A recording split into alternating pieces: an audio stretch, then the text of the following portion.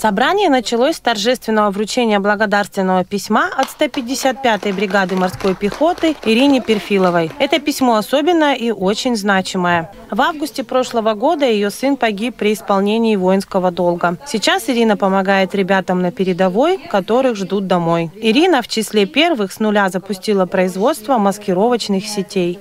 Вот 4 апреля открылась ДКУ как раз вот э, начала набираться группа. 13 апреля мы уже сняли первую сеть. На сегодняшний день, вот сегодня девчата сняли 140-ю сеть со станка США.